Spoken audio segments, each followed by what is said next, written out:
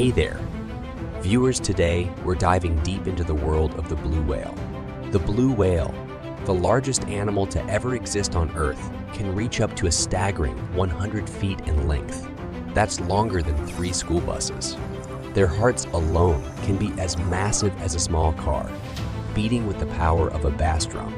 These gentle giants feed on tiny krill, consuming up to four tons of these little critters every day.